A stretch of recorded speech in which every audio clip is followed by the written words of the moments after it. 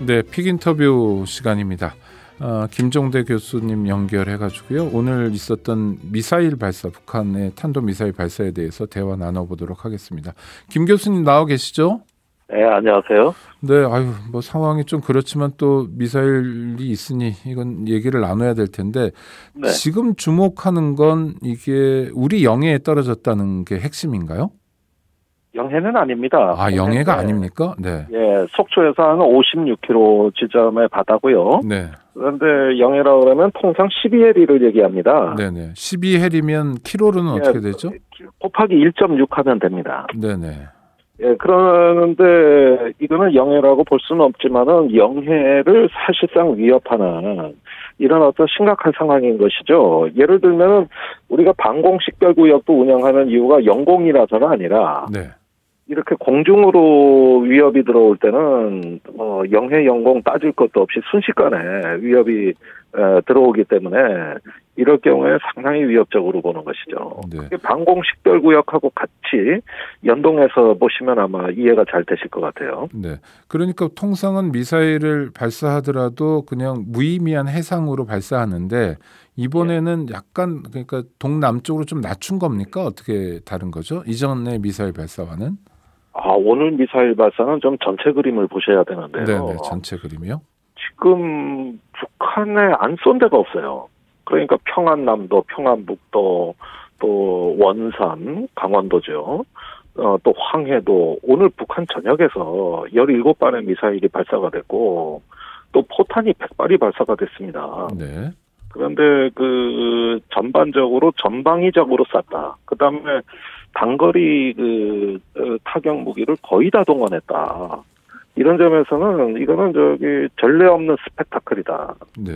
예, 이런 점에서 단순히 고 뭐 속초 인근에 떨어진 한 발만 보실 게 아니고 굉장히 오늘 어쩐 그 보면은 어, 그 한미 연합 훈련을 겨냥해 가지고 거의 전방위적으로 어, 쏜 거라고 봐야 되겠습니다. 그러니까 지금 김 교수님 말씀하신 것처럼 단거리 타격 역량을 과시하듯이 전방위적으로 쐈다는 거 아닙니까? 그러면 이 북한이 보내는 메시지도 전방위적인 것인데요. 북한이 이, 이런 도발을 통해서 어, 뭐 대한민국에 또는 뭐 미국에 보내는 메시지는 뭔가요? 그러니까 오늘 밤 당장, 당장이라도 전쟁을 할 수 있다. 네. 말하자면은 그 이걸 군사 용어로 즉응 능력이라고 하는 건데 어, 그런 어떤 그 한미 연합 훈련이 주로 동해에서 벌어지지 않습니까? 네. 이번에는 Vigilant Storm이라고 해가지고 어, 연합국 항공 전력이 거의 뭐 저 최대 규모로 동원이 되기 때문에 북한식 비례성의 원칙이 적용이 됐다. 이런 어떤 그 의미죠. 왜냐면은 나중에 그 어떤 동해에서 어 한미 연합 훈련이 있을 때 미사일이 만일에 그리로 날아간다면 이게 굉장히 심각한 상황이 될 수 있습니다. 그러니까 지금 한미 이 공중 한미 연합으로 공중 훈련하는 게 저 10월 31일부터 10, 11월 4일까지 진행되는 네, 그 훈련에 대해서 북한이 대응 도발을 한 거다 이렇게 보시는 거군요. 예, 그렇습니다. 예, 저 정확하게 오늘 아침에 경고가 나왔고요. 네. 북한에서 뭐 우리 보고 대가를 치를 것이다 이렇게 협박을 하면서 바로 이어서 쏜 거기 때문에 이것은 메시지가 매우 선명하고 한미연합훈련 대비용, 어, 대응용이라는 게 아주 뚜렷해 보입니다. 어, 그러면은 4일로 이번 주 금요일이죠. 한미연합훈련이 끝나면 일단 미사일 도발은 좀 잠잠해진다고 볼 수도 있는 겁니까? 그, 그 한미연합훈련은 어디까지나 이제 북한이 다음 전략적 공세를 하기 위한 어, 명분 내지는 어떤 핑계에 불과하다고 저는 핑계. 보여지고요. 네. 네. 예, 앞으로 어, 북한의 전략 도발의 전략적 공세가 상당히 그 높은 수준으로 진행될 것으로 예상이 됩니다. 뭐 일각에서 얘기하는 핵실험도 그 단계에서 고려할 수 있겠습니다. 그 김종대 교수님의 관측으로는 지금 뭐 북미 간에든 남북 관계든 풀리는 게 없기 때문에 북한 도발은 좀 더 업그레이드 될 가능성이 높고 그 예. 과정에서 제 7차 핵실험도 현실로 다가올 것이다 이렇게 보시는 건가요? 예, 아무래도 이제 핵실험이 가시권에 들어온다고 보여지고요. 네. 어, 또 11월 7일이 미국의 중간선거입니다. 그렇죠. 네. 예, 그래서 그 미국의 이제 어떤 전략적 공세를 강화할 수 있는 그런 어떤 시점으로 계산할 것이라고 봅니다. 그 남북 관계가 좀 완화되고 어, 분위기가 좋을 때요. 그래도 네. 북한의 지도자가 뭐 대한민국 국민들의 마음을 헤아린다 할까? 뭐 그 인사치레일지 모르지만 그런 장면도 몇 눈에 띄고 그랬는데요. 예. 지금 대한민국은 정말 참사 때문에 너무 힘든데 북한이 예. 이런 도발을 자제했으면 하는 마음이 그냥 전 개인적으로 드는데 그건 예. 전혀 상관없는 거군요. 예, 아무래도 그렇게 우리의 어떤 그 지금 사회적 분위기를 북한에게 기대하기에는 사실은 좀 무리가 있고요. 네. 어떻게 보면은 북한은 그것보다는 그러면 그렇게 애도 기간에 왜 한미 연합 훈련 하느냐. 아, 왜 하필이면은 조용히 애도나 하지. 이 사상 최대의 어떤 그 연합 훈련을 하느냐. 이런 식으로 또 뭐 반론을 하다 보면 네. 이건 뭐, 어, 상당히 소모적인 논쟁이 되겠지. 이 문제는 별개다. 이렇게 보여지는 것이죠. 네, 별개의 문제군요.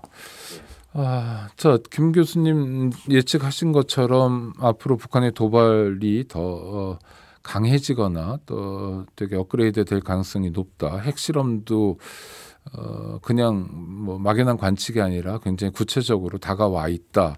지금이라도 문제를 풀려면 우리는 어떻게 해야 됩니까? 글쎄요, 지금은 일- 일단은 이 한반도 주변 정세를 안정시키는 게 핵심이거든요. 네, 그렇죠. 뭐, 지금 같은 경우는 현 정부도 힘에는 힘으로 대응하겠다는 기조가 워낙 뚜렷하기 때문에 당장 기대하기는 어렵겠습니다만은 일단은 최근에 미국 내에서도 이 상황을 안정적으로 관리하기 위한 북한과의 군축 협상을 추진해 봄이 어떠한가. 네, 이런 분 새로운 주장들이 나타나고 있어요. 비핵화를 하고 북한을 압박하는 거야 당위지만 일단 현실은 어떻습니까? 당장의 안정이 중요한 시기거든요.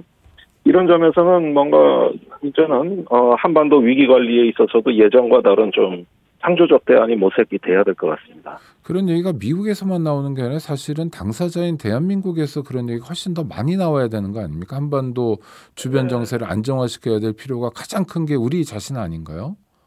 그런데 그 북한을 이제 핵군축 회담의 상대로 인정하면 북한을 핵보유국으로 인정하게 된다는 딜레마가 있습니다. 그렇죠. 네. 예, 그렇게 되면 비핵화 정책의 동력이 약화되는 거거든요.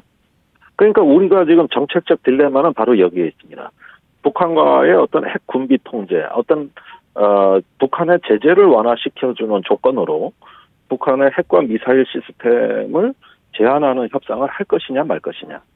이거는 우리 안정을 위해서는 필요하지만 반면에 북한의 이제 핵보유국 전략에는 또 말려드는 결과가 되는 거니까 이 점에 정책적 딜레마가 있다. 저는 개인적으로는 핵군축 회담도 열어놔야 된다고 저는 생각을 하는데 아무래도 이제 좀 북한에 대해서 보수적이고 강경한 정부 입장에서는 받아들이기 어렵지 않을까 생각이 들어요. 네. 그러니까 대통령실에서도 미국과 확장 억제를 최고 수위로 하겠다 뭐 이런 말을 계속하는 거는 실효성이 없겠네요. 그러니까 악화될 가능성이 더 높겠네요. 한반도 주변 정세가요. 그러니까 이 확장 억제력을 제고한다는 것에 대해서는 뭐 사실은 보수 진보 정권 없이 다 같이 그 추진을 했던 정책이니까 일단은 뭐 이해가 갑니다만은 그 정책으로 한반도가 안전해졌냐는 것이죠. 그러니까 힘에는 힘으로 맞서가지고 공포의 균형을 맞춘다.